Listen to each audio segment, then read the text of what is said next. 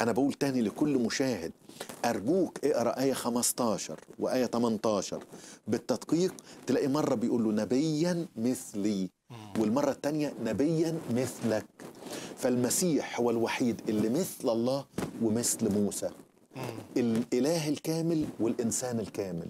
وبإنجيل يوحنا دائما بيتكلم عن فكرة النبي الآتي إلى العالم آه. بيتكلم عن مواصفات النبي كالمسيح يعني هو آه. المسيح آه. الممسوح من من الله آه. فهذا تميز فيه فقط يسوع المسيح آه آه دي, الروعة دي, دي أنا بقول دي الروعة بتاعت كتابنا المقدس إن بقول أنا لقيت كاتب تاني بيقول تصور إن كلمة آه كلمة اخوتك جت في العهد القديم 629 مرة.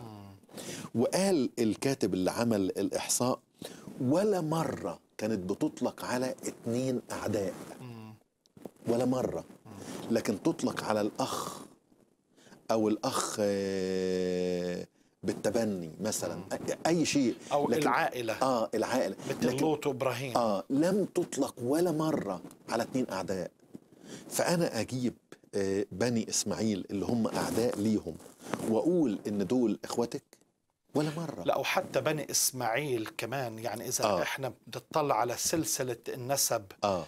آه، من إبراهيم إبراهيم تزوج آه، قطورة آه. وجاء منها طبعا اللي هو شعوب طبعا عربية. طبعا. وإسماعيل لما بتت يعني بنقرأ حتى عن تسلسل الأنساب بنشوف آه. في اختلاف حتى آه.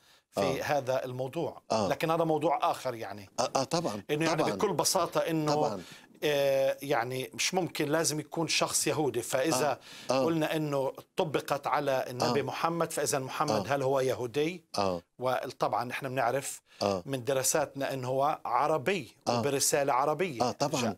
طبعا يعني. لكن أنا بقول لكل مشاهد اقرا بس النبوه بتأني. يقيم لك لك تعود على مين مم. على بني إسرائيل. نعم. يقيم لك الرب إلهك نبيا من وسطك من إخوتك مثلي له تسمعون. مين اللي اتقال عنه له تسمعون؟ الرب يسوع. نعم. أكتر من مرة لما يجي صوت الآب هذا هو ابني الحبيب الذي به سررت له اسمعوا. يقيم لك لبني إسرائيل. أي نبي تاني؟ أقيم لمين؟ أقيم منين؟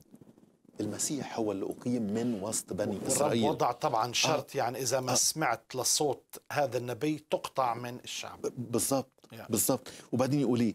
أجعل كلامي في فمه. ده مين اللي الرب جعل كلامه في فمه؟ طب ده إحنا لما نقرأ عن آه، يشوع أو إرميا أو إشعياء أو غيره يقول له ها قد جعلت كلامي في فمك.